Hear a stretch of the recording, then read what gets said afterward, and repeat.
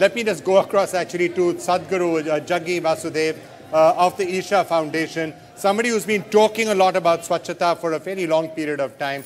So, uh, Sadhguru, why don't you share with us how important is Swachhata to all of us and um, how can we all help in taking it forward?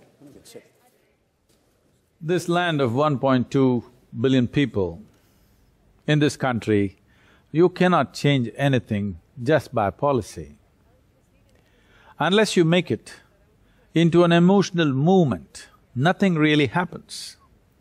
This effort of Swachh Bharat by the Prime Minister, I feel that is the effort. He's trying to touch the pride of the Indian people so that this becomes a mass movement. I can vouch for this because we have run this campaign across Tamil Nadu, involving a huge mass of people. We started with various things wherever people's emotions are. We made this a project to clean the temples of Tamil Nadu. Even today, Sunday mornings, many of the temples in Tamil Nadu are cleaned by our volunteers by their own dint.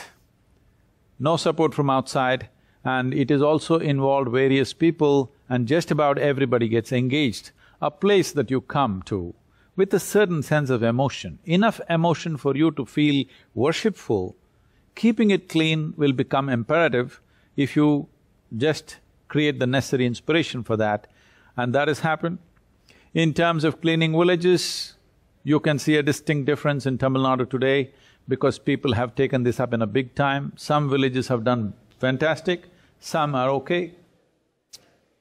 Uh, all right, yep. Sadhguruji, Amit, Amit any question that you have to ask Guru? Uh, yeah, I was just uh, wanting to know, according to you, how can we achieve the dream of a Swachh Bharat?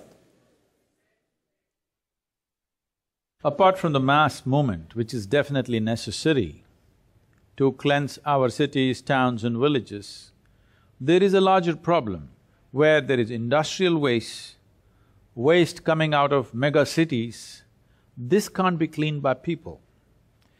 This needs a system. When we say a system, we're always thinking it has to be done by the government, I feel it needs to be commercialized.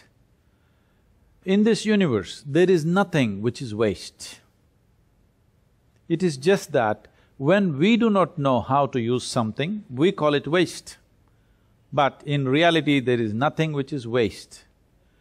Today, there are any number of technologies as to how to convert or transform filth into wealth. We have to bring these technologies we have to allow private enterprise to invest in these technologies and offer solutions to cities.